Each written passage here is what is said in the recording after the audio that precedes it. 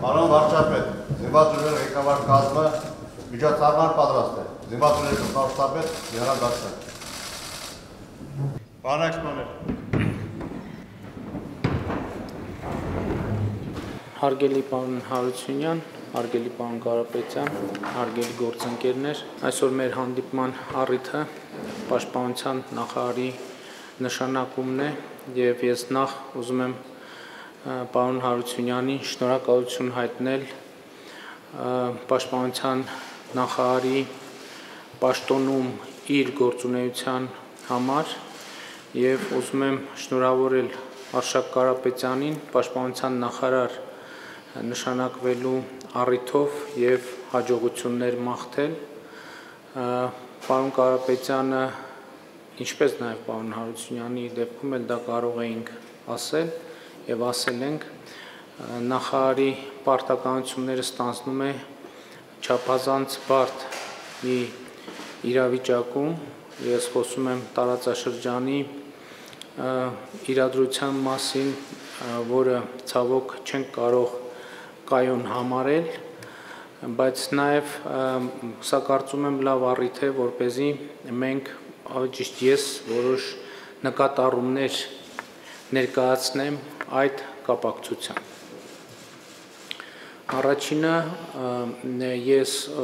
ուզում եմ արձանագրել, որ այսօր մենք ունենք բավականին լարված իրավիճակ Հայաստանի Հանրապետության շուրջ, եւ գիտեք նաեւ որ մայիսի 12-ից Ադրբեջանի զինված ուժերի ստորաբաժանումները ապօրինի կերպով հատել են Հայաստանի Հանրապետության սահմանը եւ այս ընթացքում բազմիցս քննադատություններ են հնչել, թե ինչու Հայաստանի զինված ուժերը միջոցներ չեն ձեռնարկում այդ իրադրությունը հաղթահարելու համար Ես ուզում եմ արձանագրել հետևյալը, որ մեր դիրքորոշումը ի սկզբանե եղել է հետևյալը, որ քանի դեռ կա հնարավորություն իրադրությունը լուծել դիվանագիտական քաղաքական ճանապարհով, մենք գնալու ենք այդ ճանապարհով եւ մենք քանի դեռ տեսնում ենք նման հնարավորություն, մենք process-ները պիտի տանենք հենց այդ ճանապարհով Հարգել գործընկերներ, կարծում եմ նաև լավ առիթ է, որ เป զի ես մեր զինված ուժերի հրամկազմի հետ որոշ տեսակետներ եւ տեղեկություններ կիսեմ տեղի ունեցող process-ների վերաբերյալ եւ ուզում եմ արձանագրել, որ ըստ էության Ադրբեջանը շարունակում է որոշակի ագրեսիվ քաղաքականություն վարել Հայաստանի Հանրապետության նկատմամբ եւ այդ քաղաքականության առանձնահատկությունը հետեւյալն է Ադրբեջանը փորձում է տպավորություն ստեղծել թե ինքը տարածաշրջանում եւ Հայաստանի շուրջ ստեղծել է մի օրակարգ եւ ինքը ըստ էության պարտադրում է այդ օրակարգը ես Այսինքն այդպիսի տպավորություն է ուզում ստեղծել եւ պիտի արձանագրենք, որ մենք մեր սեփական օրակարգը ունենք եւ Հայաստանի Հանրապետությունը ըստ էության եղել է եւ շարունակում է մնալ իր միջազգային պարտավորությունների շրջանակում եւ պիտի մի նրբության մասին նաեւ ձեզ տեղյակ պահեմ, որ այդ օրակարգի վերաբերյալ Ադրբեջանը փորձում է սեփական մեկնաբանություններ ներկայացնել եւ ինչպես մի քանի անգամ ասել եմ, բազմիցս եմ ասել, նպատակը այդ օրակարգի հարցերի լուծման վիճեցումն է։ Այսինքն իրականում փորձ է արվում հնարավորություն չտալ լուծել հարցեր, որոնք գտնվում են նաև Հայաստանի Հանրապետության կառավարության օրակարգում։ Ես մասնավորապես ուզում եմ մի քանի կոնկրետ կետերի անդրադառնալ։ Դուք գիտեք, որ նաև նախընտրական շրջանում ես բազմիցս խոսել եմ տարածաշրջանի կոմունիկացիաների բացման թեմայի շուրջ եւ սա նոյեմբերի 9-ի Երակոմ հայտարարության կարևոր դրույթներից մեկն է։ Ես ուզում եմ շատ հստակ լինի եւ կարծում եմ հրաապարակային հայտարարություններից էլ բոլորը այդ եզրակացությունները արել եք, որ տարածաշրջանային կոմունիկացիաների բացումը Հայաստանի Հանրապետության կառավարության առաջնահերթություններից է։ Եվ Ադրբեջանը ինչ անում Ադրբեջանը։ Ինքը փորձում է այս թեմայի ավելացնել կոմպոնենտներ, որոնք իրենց բովանդակությամբ անընդունելի են Հայաստանի Հանրապետության համար։ Այսինքն ես նկատի ունեմ մասնավորապես միջանցքի մասին խոսակցությունները։ Բոլորը պետք է իմանան, որ միջանցքի վերաբերյալ Հայաստանի Հանրապետության տարածքով երբեք որևէ պայմանավորվածություն չի եղել եւ Հայաստանի Հանրապետությունը ոչ բանավոր, ոչ գրավոր այդ թեմայի վերաբերյալ ոչ միայն որևէ պարտավորություն չի ստանձնել, այլև մեզ համար մենք բոլոր դեպքերում, երբ որ այդպեսի նախադասություններ հնչել են, մենք հստակ մեր դիրքորոշումները արտահայտել ենք։ Եվ այն պայմանավորվածությունները, որ մենք ունենք, ըստ էության արտահայտված են նոյեմբերի 9-ի եւ հունվարի 11-ի հայտարարությունների մեջ։ Նախ շատ է խոսում եմ մասին, նաեւ քաղաքական դաշտում շահարկումներ շահարկումներ են տեղի ունենում, որ այ կա ինչ որ այդ հայտարարություններին կից ինչ որ գախնի արձանագրություններ, գախնի պայմանավորվածություններ չկա բացարձակապես որևէ նման բան եւ ես շատ կարեւոր եմ համարում որ դուք բոլորը դա իմանաք կա արդյոք պայմանավորվածություն կոմունիկացիաների բացման վերաբերյալ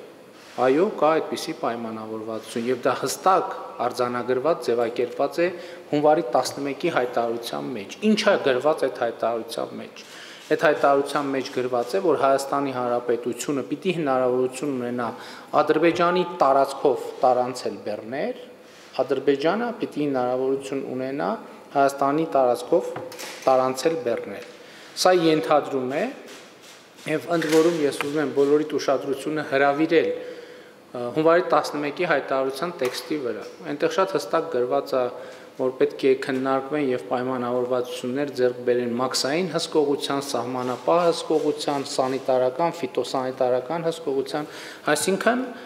կա հստակ արձանագրում, որ մենք ինչպես ինչպես ընդունված է տրամաբանորեն եւ ինչպես տեղի ունենում Հայաստանի տարածքը որպես տարանցիկ ուղի օգտագործելու պարագայում պիտի ինչպես մնացած բոլոր դեպքերում այդ հատում պետքա տեղի ունենա այդ կանոններով։ Ինչպես են այսօր հատում օրինակ Վրաստանի կամ Իրանի իսլամական հանրապետության քաղաքացիները։ Այսինքն այդ նույն կանոններով իհարկե մենք այդ օրակարգը ընդունել ենք եւ ինչ ենք ընդունել այդ օրակարգը, դա էլ եմ ուզում ասեմ, որովհետեւ Ադրբեջանի վերջին համարյա 30 տարվա քաղաքականությունը եղել է Հայաստանի շրջափակում։ Այսինքն կոմունիկացիաների բացումը իրականում մեր օրակարգն է, ոչ թե Ադրբեջանի օրակարգն է, որովհետև մենք համարում ենք, որ կոմունիկացիաների բացումով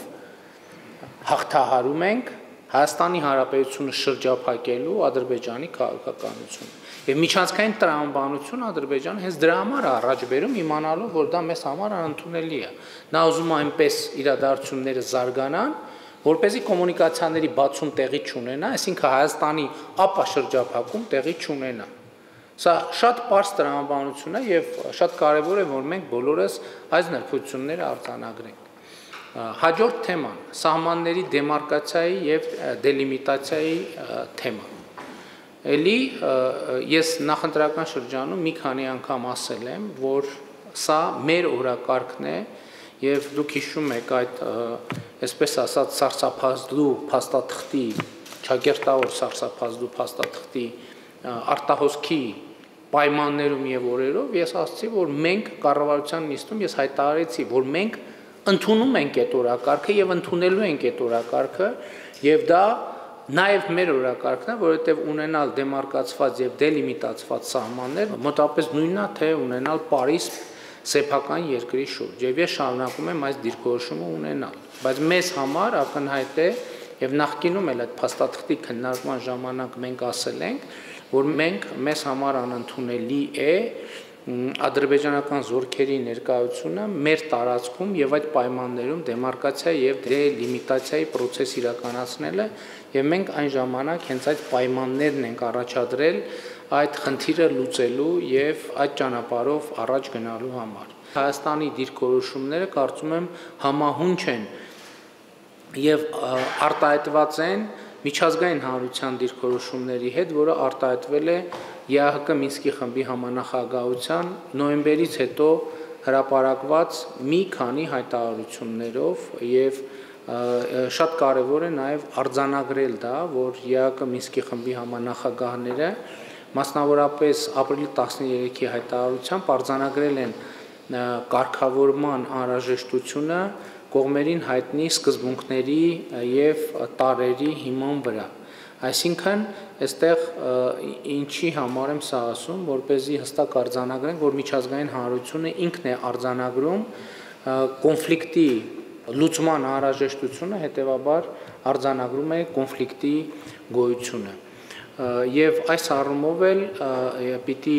պիտի արձանագրեմ, որ մեր մտեցումները եւ դիրքորոշումները խնդրի գոյության հատվածով համահունչ են միջազգային հանրությանը։ Հարգելի գործընկերներ, ես ուզում եմ նաեւ արձանագրել, որ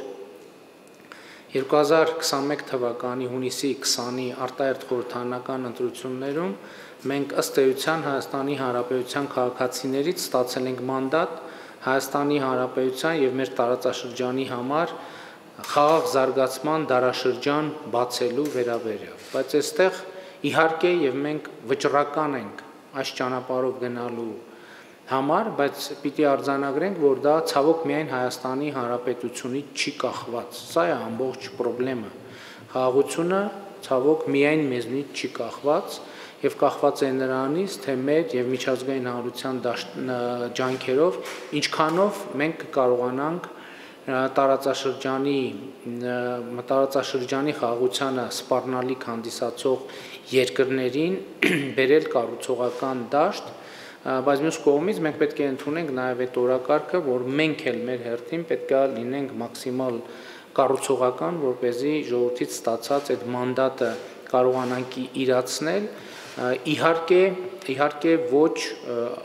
երբեք Հայաստանի Հանրապետության ազգային եւ պետական շահերի հաշվին։ Վերադառնալով այսօրվա մեր թեմային, մեր մեծագույն խնդիրը հետեւյալն է, որ մենք զինված ուժերի բարեփոխումների գործընթացը պետք է շատ մաքսիմալ մեծ թափով իրականացնենք եւ շատ մեծ պատասխանատվության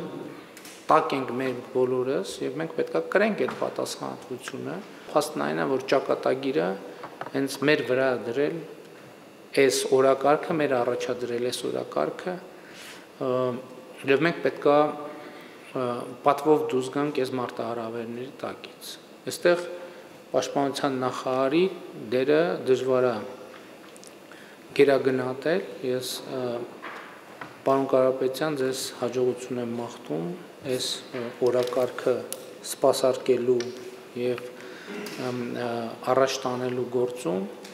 Միանք իհարկե մենք իրար հետ աշխատում ենք արդեն բավականին երկար ժամանակ, գործնականում ապելի քան 2 տարի եւ ես հույս ունեմ, որ նաեւ մեր այդ աշխատանքի համատեղ պատմությունը կօգնի մեզ, որ เป զի պաշտպանության նախարարությունը եւ կառավարության մյուս մարմինները եւ զինված ուժերը սինխրոն գործեն եւ հետեւաբար ես մեզ բոլորիս հաջողություն եմ մաղթում այս ճանապարհին եւ ավանդույթի համաձայն նախ ցայն տանք պարոն Հարությունյանին խնդրեմ պարոն Պարոն Լաչապետ, պարոն այդ սպաներ, քաղաքացիներ, այստեղ մենք ունենք ռազմաքաղաքական իրավիճակ, որը պարտադրում է մեզ ունենալ մարտունակ բանակ։ Կարևորագույն խնդիր այսօր մեր հասնել ավարտի մեր բարեփոխումները բանակի։ Եվ դա է այն երաշխիքը, որ կապահովի մեր պետության անվտանգությունը։ Եվ ուզում եմ ձեզ բոլորի շնորհակալություն հայտնել համատեղ ծառայության եւ մաղթել ձեզ բարի ծառայություն եւ ես մնում եմ դա շարքելու։ Շնորհակալություն։ Խնդրեմ բանկը։ Պարոն վարչապետ, թույլ տվեք մեր բոլորիս անունից, սկսած զինվորից, վերջացած նախարարից շնորհավորենք ձեր վարչապետի պաշտոնը երկրորդ անգամ ստանձնելու կապակցությամբ եւ այդ հաղթանակը, որը դուք մանդատի ձևով ստացաք մեր ժողովրդից։ Ես ուզում եմ ձեզ համատասնել, որ մենք հասկանում ենք ստեղծված իրավիճակը մենք հասկանում ենք թե ինչ պայմաններում ենք մենք ստանձնում այս պաշտոնները եւ չենք վերաբերում նրան որպես պաշտոն ես խոսել եմ կորպուսի հրամանատարների հետ որոնք մեզ լսում են խոսել եմ պաշտոնական բանակի հրամանատարի հետ մենք սա համարում ենք որպես պարտականություն հայ տղամարդի պարտականություն հայ սպայի պարտականություն իր երկիրը պաշտպանելու համար մենք ամեն ինչ անելու ենք որ մեր երկրում խաղաղությունը ապահովենք հակառակորդի ոտնձգություններից մենք ամեն ինչ անելու ենք մեր սահմանները պաշտպանենք եւ ամեն ինչ անելու ենք որ հայկական բանակը նախաձեռնված արդեն ռեֆորմների եւ բարեփոխումների շնորհիվ վերականգնի իր ռեսուրսները եւ կարողանա ունի տարածաշրջանում իր ամբախ ունեցող հզոր բանակներից մեկը։ Շնորհակալություն վստահության համար եւ մեզ բոլորիս ցանկանանք այդ գործում հաջողություն եւ Աստված մեզ պահպան։ Շնորհակալություն։ Աստված մեզ ուժ ու կամք տա, որպեսզի մենք մեր ժողովրդի, մեր պետական ազգային նպատակներ իրագործենք։ Շնորհակալ։ Պարոն Այքսպաներ,